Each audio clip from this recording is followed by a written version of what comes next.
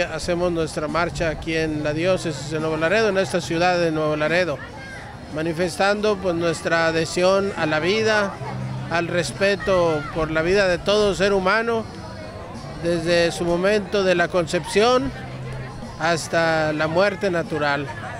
Es algo que nosotros los católicos tenemos una doctrina muy clara, muy arraigada y, y lo hacemos manifestando no solo nuestro rechazo a la muerte, a la violencia, sino también eh, manifestando nuestra, nuestro respeto a todo ser humano. Hay muchos jóvenes, pero también están los movimientos, están parroquias, este, viene una gran muchedumbre de nuestros católicos. Es un signo de, de nuestra unidad como iglesia, pero también de, de que estamos en comunión con la iglesia, con la iglesia universal.